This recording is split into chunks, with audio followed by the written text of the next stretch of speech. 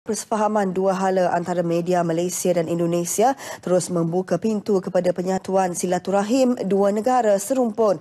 Melalui Ikatan Setiakawan Wartawan Malaysia Indonesia ISWAMI, jalinan tersebut diterjemah menerusi kunjungan 22 delegasi pengamal media Indonesia yang mengadakan lawatan muhibah selama tiga hari ke Malaysia.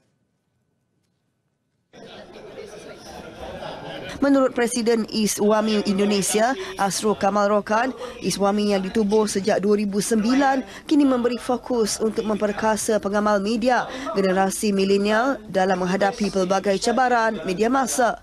Kita akan memerlukan suatu eh, semacam regenerasi ya. Pada generasi saya, Pak Jol, Pak Johan Jaafar dan yang lain, itu sudah cukup ada hubungan emosional antara Indonesia dan Malaysia.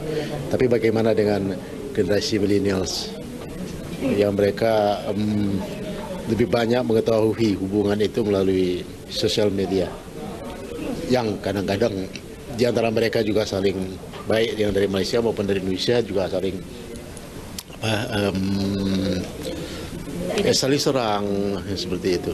Nah itu kan tidak baik. Nah sekarang kita mendiskusikan soal ini bagi Ketua Pengarang bernama Datuk Zakaria Abdul Wahab, beliau menyambut baik kunjungan delegasi Iswami Indonesia dalam merapatkan hubungan yang sedia ada terjalin.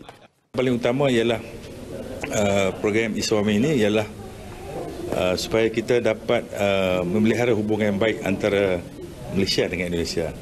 Jadi kalau ada berita-berita yang tidak betul ataupun salah lapor ataupun uh, berita yang tidak jelas, uh, biasanya kami akan hubungi secara terus personal contact editor Malaysia dengan editor Indonesia.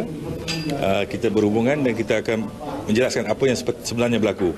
Uh, apa yang patut uh, dilaporkan. Jadi tidak bergantung kepada kabar angin yang sekarang lebih mudah untuk diwarikan melalui sosial media. Beliau ditemui pemberita pada majlis makan malam Iswami bernama di Putrajaya. Hadir sama tokoh media Malaysia Tan Sri Johan Jaafar dan Ketua Pengarah Penerangan Datuk Ibrahim Abdul Rahman.